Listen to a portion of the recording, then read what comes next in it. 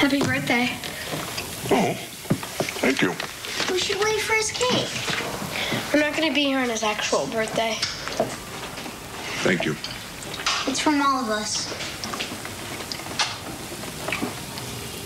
We'll go to the deli for dinner tonight and have cherry cheesecake. Open it now. Yes, ma'am.